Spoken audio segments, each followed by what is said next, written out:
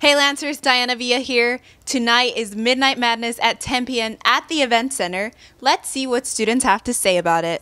I'm expecting to have some fun. Um, I'm a freshman, so I want to get the new experience of being at Really CBU. just that the best way to describe it that wildcat energy just hearing the people in the stands just shout to um, to our CBU basketball team Um, I just love basketball and like sport environments, so that kind of stuff just sounds fun to be part of. and I'm just excited for the hype and the craziness and yeah. a lot of shouting a lot of cheering and just that lancer spirit go lancers For CBU TV, I'm Dyana Villa.